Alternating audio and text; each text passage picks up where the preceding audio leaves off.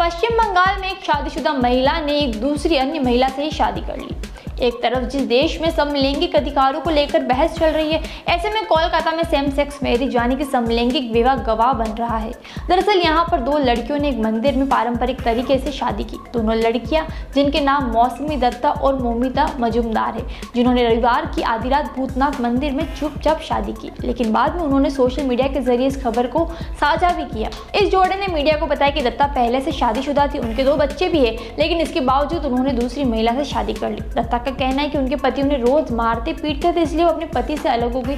उन्होंने कहा, मेरे दो बच्चे भी हैं और इनकी ज़िम्मेदारी मेरी है। वही जोड़े ने बताया कि वो दोनों सोशल मीडिया के माध्यम से एक दूसरे से संपर्क में आए थे। बाद में जब उन्होंने शादी करने का फैसला किया तो मजुमदार ने स्वेच्छा से अपने साथी के बच्चों को स्वीकार भी कर लिया। वर्तमान में वे दोनों उत्तरी कोलकाता में किराए के घर में रह रहे हैं और समलैंगिक विवाह के बारे में घटनाक्रम से अवगत है। वही दत्ता ने सुप्रीम कोर्ट से एक अनुकूल फैसले की उम्मीद करते हुए कहा कि परिणाम जो भी हो, वो हमेशा मोबिदा के साथ ही रहेगी। दोनों ने दावा किया कि भले ही अदालत समलैंगिक विवाह के प्रमाण पत्र की अनुमति नहीं देती है, लेकिन कोई भी नियम उन्हें साथ रहने से नहीं रोक सकता है।